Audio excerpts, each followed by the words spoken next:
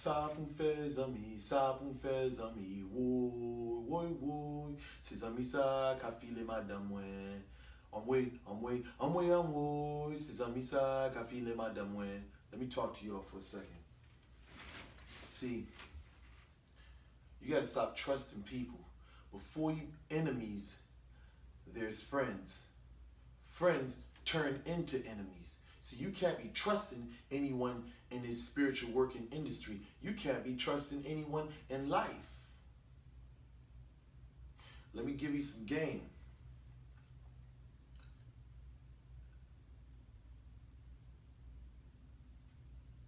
Jesus was not betrayed by people he didn't know.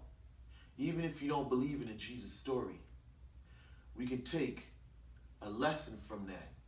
Judas, Jesus' right hand man, turned around and sold him for pieces of silver. Brutus was Caesar's right hand man, and he's the one that put the knife in his back.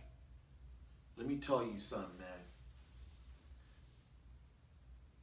In this spiritual working community, when you're around root workers and spiritual workers, they'll smile on your face, they'll give you a handshake, and they'll be the one working on your ass. My father is a preacher. And in his church, when he went to his pulpit to do his sermon, he looked down below, and what did he find?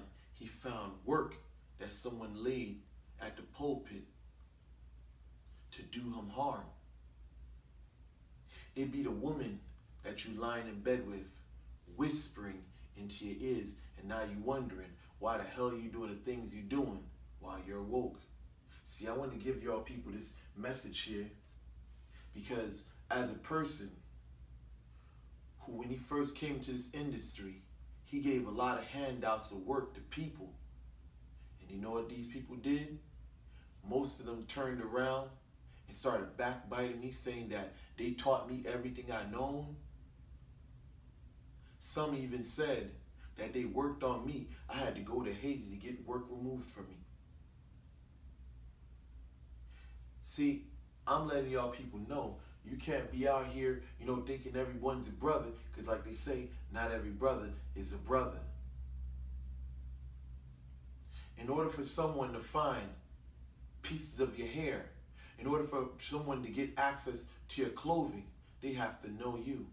Ain't no random stranger that's coming to your house and taking your stuff. It's the people that you know that's stealing your belongings and bringing out there to, you know what I'm saying, the Bokor or the, the Houngan or the Manbo to work on your ass.